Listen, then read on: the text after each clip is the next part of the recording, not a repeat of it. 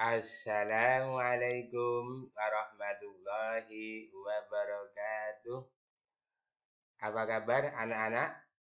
Sehat? Kuat? Tetap semangat. Ya, eh, pembelajaran kali ini eh, bab 2 yaitu berkomunikasi dengan iklan, slogan dan poster.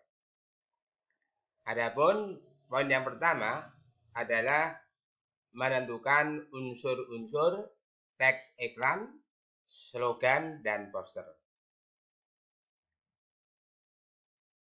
Nah, apa yang dimaksud dengan teks iklan, slogan, dan poster?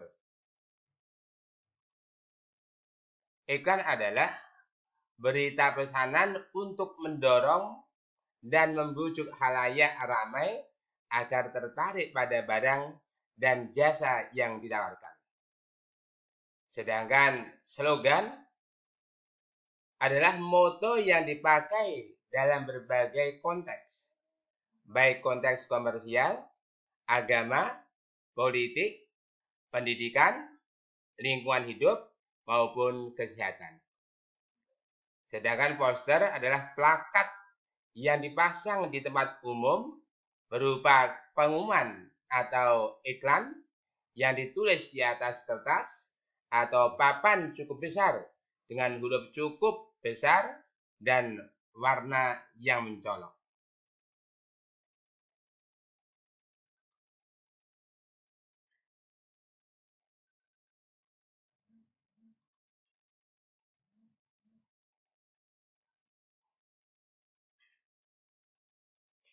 Adapun ciri-ciri iklan adalah informatif dan komunikatif.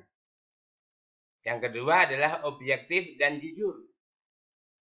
Yang ketiga adalah singkat, padat, jelas, dan mudah dipahami. Yang keempat, tidak menyinggung pihak lain. Yang kelima, menarik perhatian banyak orang. Sedangkan slogan, cirinya adalah yang pertama, kalimat menarik.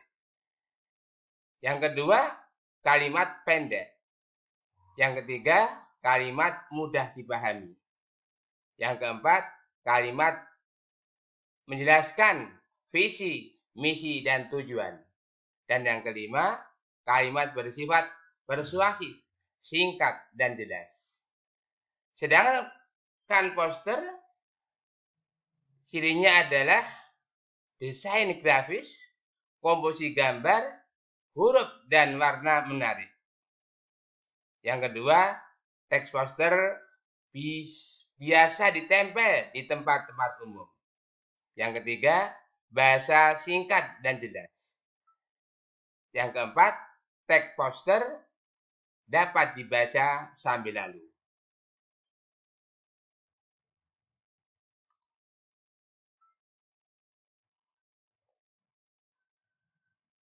Sekarang jenis-jenis teks iklan, slogan, dan poster. Jenis teks iklan terdiri dari iklan niaga, iklan pengumuman, iklan baris. Kemudian slogan ada slogan lingkungan hidup, slogan pendidikan, slogan kesehatan, slogan motivasi. Sedangkan jenis poster ada poster pendidikan, poster penerangan, poster berbagai kegiatan seni dan budaya.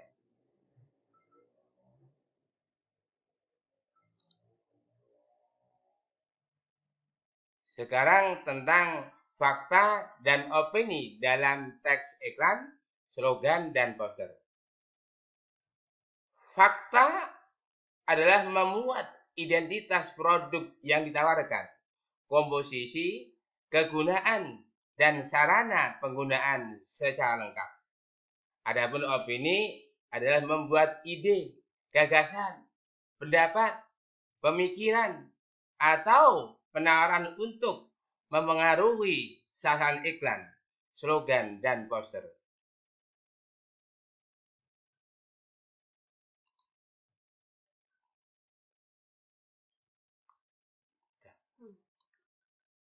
Itulah eh, ciri ya, ciri teks iklan, slogan, dan poster.